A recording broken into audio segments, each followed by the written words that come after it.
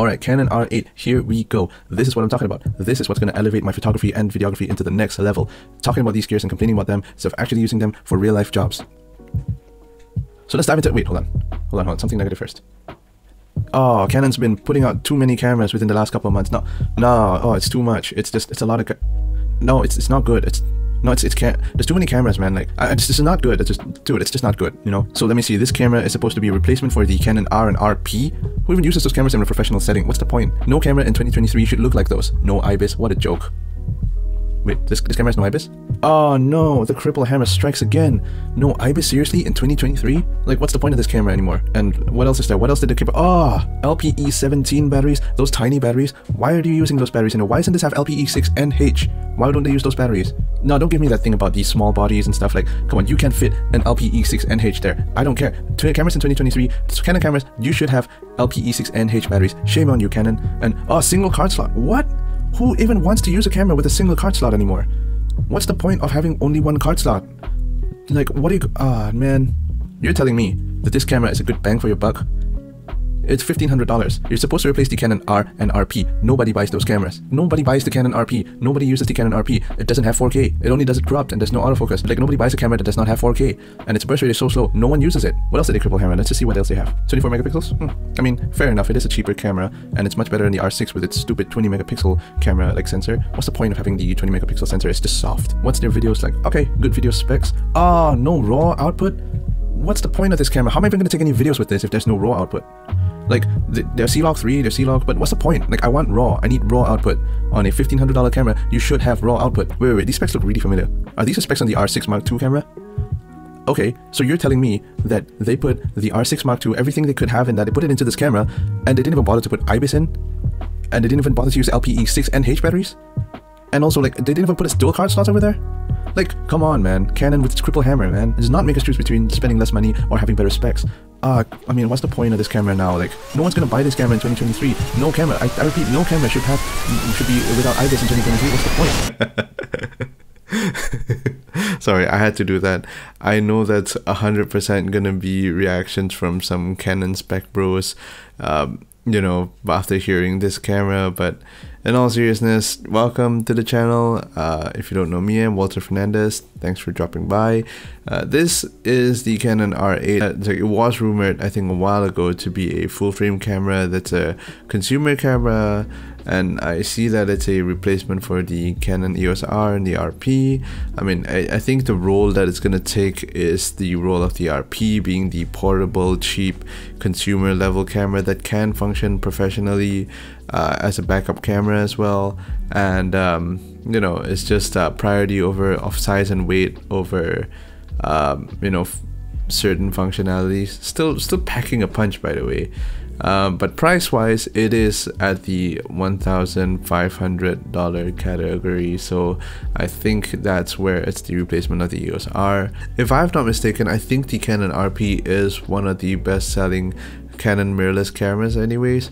So it, I think the R8 is actually a really good move by Canon to release this. Um, the fact that I'm seeing the specs of the R6 Mark II on this camera is insane really didn't hold back on any of these things. So I own the Canon RP as well as the Canon R6, the first one.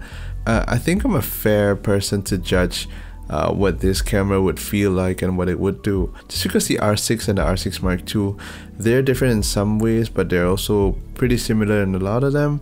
I think it's just a slight spec upgrade from the first uh, Canon R6 and um, with the body of the Canon RP. I've talked about the Canon RP in a video I've made before. I'll link it up here if you want to watch it. Oh, sorry, it's too high. Here, yeah, if you want to watch that. Um, generally, I think the RP body is it's okay. I uh, I don't like how it balances with bigger lenses, especially someone like me who does not use RF lenses. I adapt all my lenses. I use uh, mainly EF lenses just because I use it I don't want to buy a separate lens for the R cameras that I use and the uh, EF mount film cameras that I use so I tend to use a lot of like lenses with adapters I don't think you'll have as much of an issue if you're not using adapters if you're using native RF lenses but I I do not have them so let's just go through some of these things right here. So let's start with the no IBIS thing. So IBIS has done me wonders throughout the years.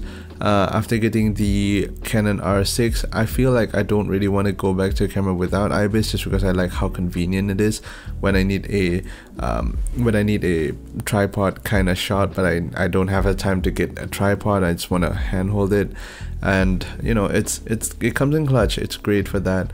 Uh, I don't do many like vlogging kind of things, so the wobble has never been an issue for me.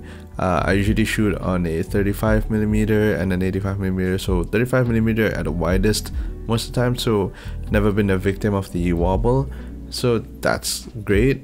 Um, but the fact that this doesn't have IBIS, I think if you use a lens with IS, you might be able to negate a lot of that issues. I, I see a lot of them talking about this, so that could be something. Uh, LPE 17 batteries, I've talked about this before. Even though they die really quick, you can just grab a couple of them and just chuck it in your bag. They're really tiny and they're really light, so that's okay. And about the single card slot, I don't know. I haven't had a memory card fail on me before, but if you're really worried, I've heard uh, photographers like Sam Hurd say that um, when he was using the EOS R, the most possible uh, situation where your SD card would have uh, corrupted or would have an issue is the point of entry. So if you keep taking it out and plugging it in, that's where you might have issues with corrupted files and stuff. So what he used to do was just transfer everything via USB-C, the USB-C output into the computer's USB-C input.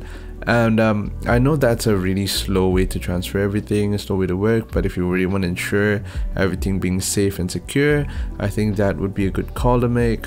So yeah, but rest of it these specs are insane. I'm not going to be talking about every single spec here because there's so many videos talking about the same thing. You don't really need someone to like read it out for you again. Uh, I'll link, I'll link someone's, I'll link Jared Polin's video under here, just just because I like the way he does his Fro Knows Photo thing. And I'm really a big fan of that.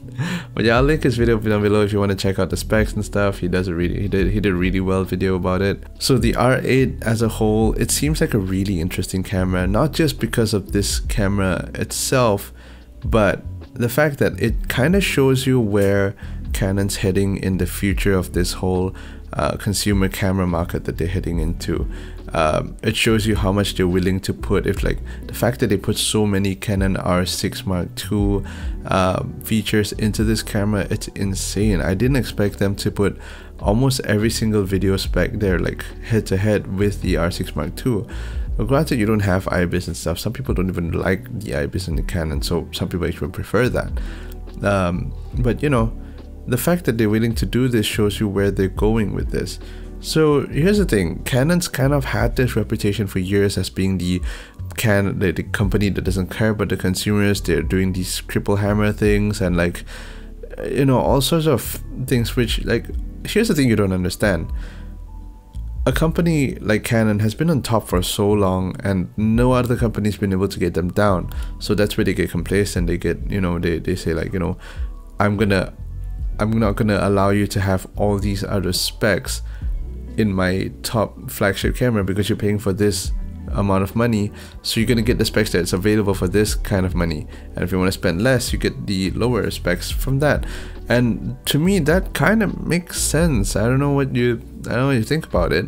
It's it's as if like i go to a restaurant and i like buy a plate of uh, fried rice and no the if i if i pay more i get a bigger plate with the same amount of rice but if i pay less i get a smaller plate with the same amount of rice. That doesn't make sense from a business perspective does it? And and i'm not here to kind of just like defend canon all the way. And in no way i am i like apologizing for what they do or you know i'm not endorsing what they do. I just i'm sharing my thoughts as a human being in this like uh in this day and age. And uh, Here's the thing with a company like Sony that comes along and gives you every single thing they have, they're a company that's trying to reach the top. They're a company that's trying to take the crown from Canon, and arguably they might already have. For them to do that, they've got to give you every single thing they can. They've got to give you all the specs, all the bells and whistles, every single thing to make you be like, okay, Sony might be a good system to jump to, you know, uh, buy their lenses and stuff so I can just be loyal to them next. The fact that they do this so well is it's great.